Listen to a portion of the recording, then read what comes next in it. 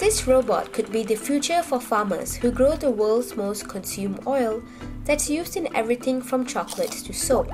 It's one of the robots that the world's biggest palm oil producer is building to help ease a burden that farmers often describe as dangerous, dirty, and difficult. The palm oil industry is hoping these robots can help plug a worker shortage that has reduced global supplies in recent years.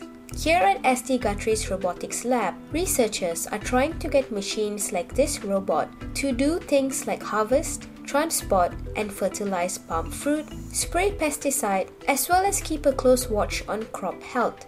But one of the toughest operations uh, is harvesting. Harvesting is a very manual operation, usually with a worker carrying a long pole. You can see the trees are pretty tall. It can go actually up to 15, 20 meters tall. Now to make it uh, automate that kind of a job, uh, you need a number of technologies in place. Robots like these are an important step to mechanize and automate the palm oil industry, which still relies heavily on manual labor to harvest crops. They could also help bring greater accountability to the palm oil sector, which faces scrutiny over workers' rights abuses and deforestation. But it may take a few years before palm oil farming is fully mechanized, as these prototypes are still being tested in the field.